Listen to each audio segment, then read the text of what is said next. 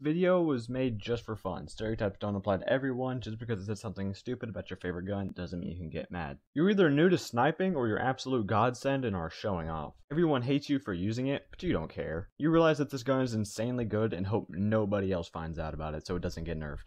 You miss the old version of it, however, you still dominate PvP lobbies. You just wanted a combination between a rifle and an SMG. You were either new to the game or trying to be unique.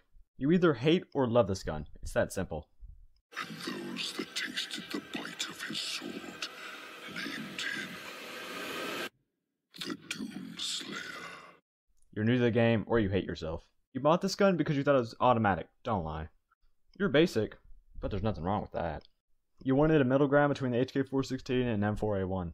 You used to main the AS Val, but when it got nerfed, you switched to this.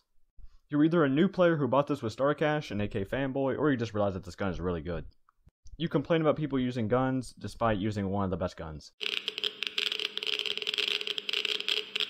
You're sad that it got nerfed, doesn't stop you from using it though. You're a legend. You either got this first try or the 17th time in raid mode. You're also a legend if you have this. You're either a big fan of Germany or switched to this after the AUG nerf.